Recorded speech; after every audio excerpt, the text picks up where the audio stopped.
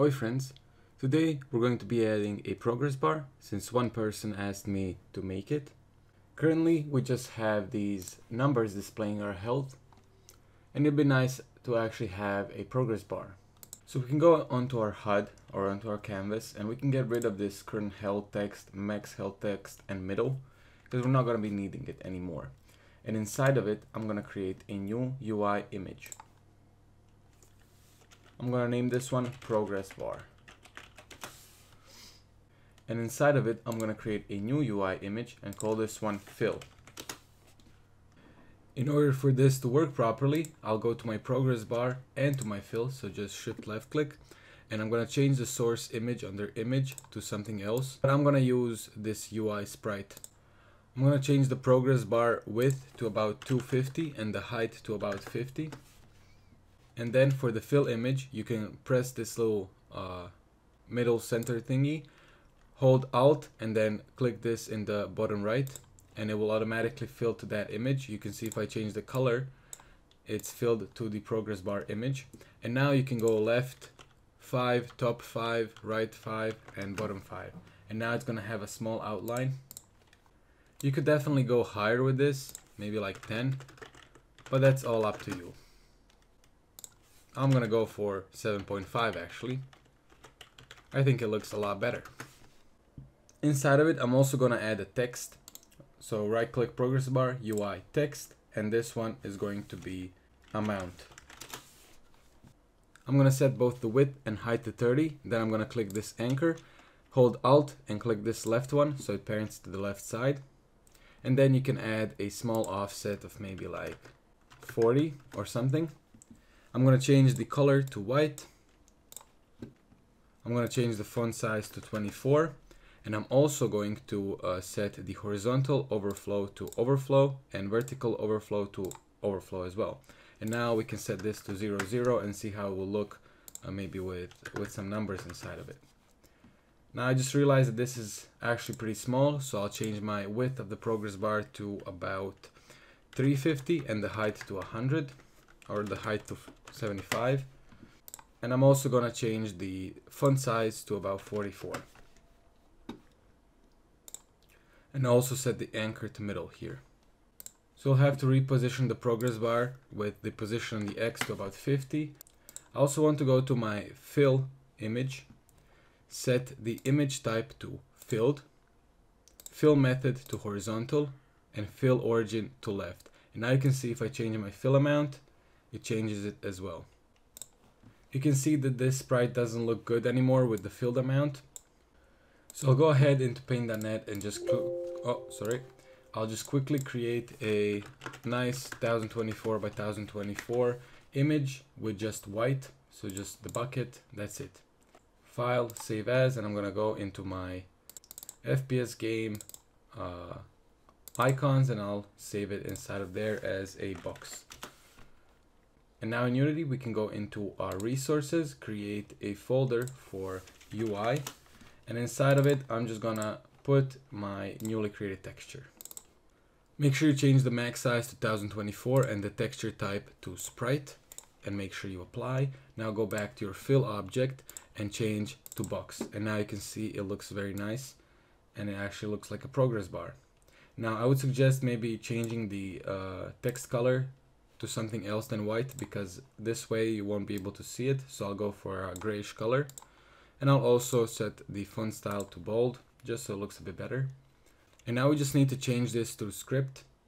So I'll go ahead and I'll go to my scripts folder. I'm going to create a new folder for UI. And inside of it, I'm going to create a progress bar C sharp script. Open it delete the default functions and inside of it I'm gonna create a two, two new ints private int for base value and a private int for max value. Then I also need a reference to my image so I'll go serialize field private image fill. And currently we do not the unity doesn't know what an image is here so I'll have to be using unity engine.ui and now we know what an image is. And we'll need two new functions. So we'll need a public void for set values. And this function will take in a base value and a max value. So I'll just name them like this. With a small underscore here so we know how to di differentiate between these two. And I will also need a private void to calculate fill amount. So we're going to create a new float, call it fill amount, and it's going to be equal to uh, our base value divided by our max value. Some pretty simple math. So if this is 10 divided by a max of 100, then that will be 0.1. And that's how much we need to fill our, uh, our progress bar because you can see it only goes from 0 to 1. It's normalized. So we can't just set this to 100 and, mm, you know, work like that. We just have to clamp it between 0 and 1. So if I have 10 health out of 100, that's 10 divided by 100, 0 0.1, as you can see. Uh, if I have 50 health, that's 0 0.5, and so on. This would also work if you had like 200 health, it would still be the same. So now we have the fill amount, and we just have to go fill dot fill amount is equal to fill amount. Just like that. And now we can set the proper progress for the bar. We just have to use the values. So I'll just set the base value equal to the new given base value and I'll set the max value equal to the new given max value and then I'll just calculate fill amount. And we'll want to call this each time we uh, set it up. We also want the uh, text to show up. So I'll create a new serialized field, private text, and I'll call it amount.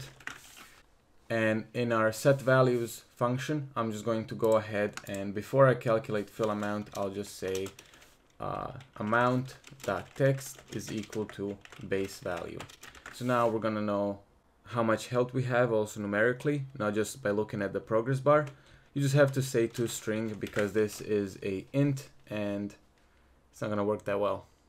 And also in order for this to work, these two are integers, so uh, it might not work always if you maybe have like 10.25 HP. So I'm just going to cast them as floats, uh, just so Unity maybe has to, uh, you know, do some floats and so we don't get any glitches. So we're basically making these floats, so not just uh, complete numbers, but also with decimal points as well. And now we just have to use this in our player HUD. So I'll go back to my player HUD. And we already have a function for update health, which just updates the text. Uh, so we can remove these two texts right here because we don't need them any anymore. And I'm going to go ahead and say uh, private progress bar. I'm gonna call this one health bar. Okay, and I'll make sure I serialize this because it's much easier that way.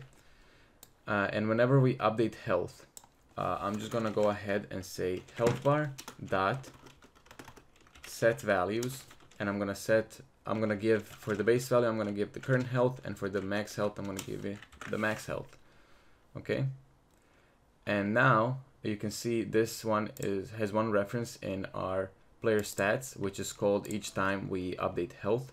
And now it should just update our progress bar so if I go ahead and attach a progress bar script to my progress bar and set the fill to the fill object and the amount to the amount object.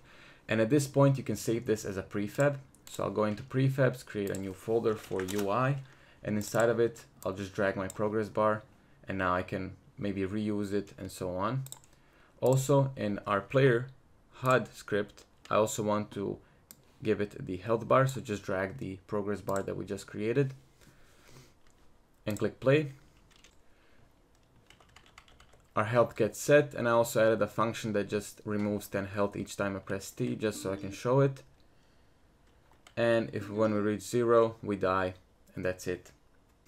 Thank you for joining. Next time we'll be adding the inventory UI, so some weapons and, and shit so we can see what we have equipped. Hopefully this helped you. It was quite a short one and enjoy your day.